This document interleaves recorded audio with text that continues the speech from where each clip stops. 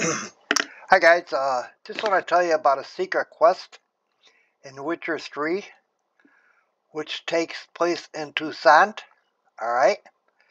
And it's right here, just south of the Grand Palace.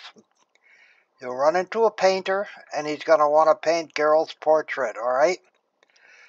And if you do that quest, you get 150 experience points.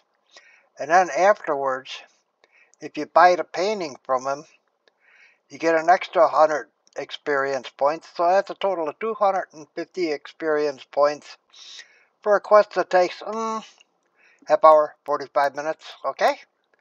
That's it. Catch you guys later. Bye-bye.